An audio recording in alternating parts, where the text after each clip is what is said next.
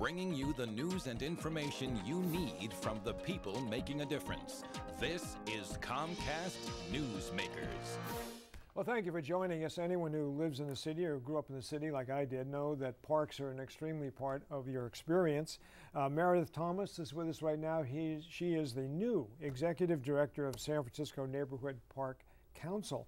Congratulations, Meredith. Thanks, Jack. That's really, do you have to twist anybody's arm? Or I know where the trees are, or I plant seeds, or what? I mean, what?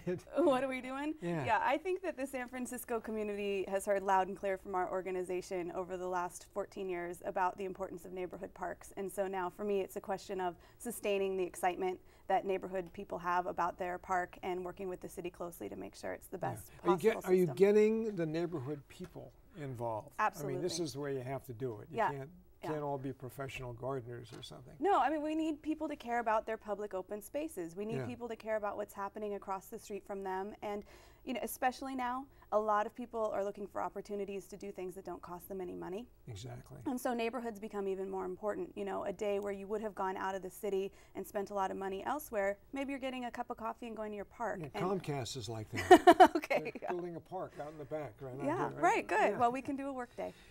Have you been successful We have. in, in terms of you know what the council has accomplished and where you want to go? I mean, what kind of goals do you have now, for example? Yeah, that's a great question. I think when our organization started, it was founded by a woman named Isabel Wade with about three park groups, a kind of loose coalition. We've grown it to over 120 park groups around the city. There's over 200 lot. over 200 parks though in our in our Yeah. city and people care about each and every one of them.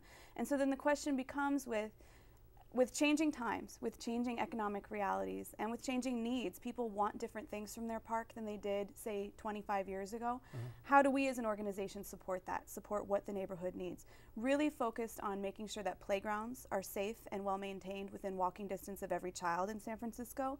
And also, as the density in our city increases, you know, the eastern side of the city is going to see incredible growth over the next 10 years. Making sure that parks and open space are vitally linked in to those new communities. And so I see a roadmap for NPC for a long time into the future in that Yeah. way. Well, mm-hmm. you mentioned the eastern part of the city, the best weather. Yeah, I mean, it's Yeah. a great place to have parks and so forth. Sure. But let's separate the difference between Golden Gate Park and the parks that you deal with, so people understand that. Okay. There is a difference. In that Golden Gate Park is more of a, almost a regional park. It, it draws people from all over. Uh, Everywhere. The, yeah, Yeah, it's one of the most popular tourist destinations in our city. There are a few neighborhood parks people like to go to. People like to go to Alamo Square to take the picture of the painted ladies, that row of Victorian right. houses. People love Dolores Park. But generally speaking, what we're talking about when we talk about a neighborhood park is the place that you and your neighbors go to spend time, to throw the frisbee, to have a picnic. Um, it's probably where your rec center is, where you take your guitar class or your yoga.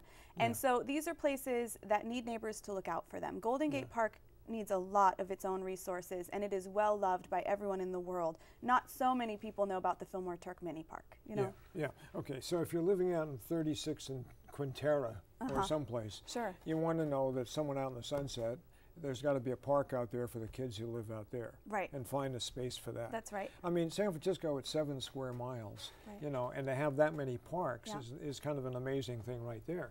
It is, and we're know. very lucky. We have a lot of open space in San Francisco. Uh-huh. Our challenges tend to be keeping it well maintained and making sure it's accessible. Topography is not insignificant in San Francisco. So maybe you live a block from the park, but you're not in the sunset and you're at the bottom of the hill and you have a kid in a stroller.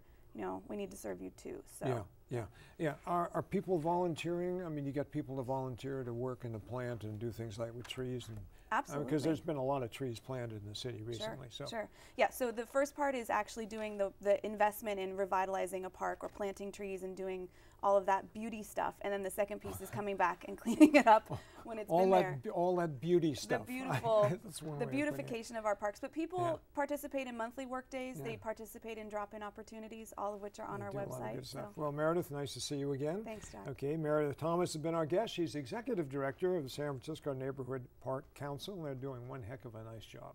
Thanks for watching. Thanks.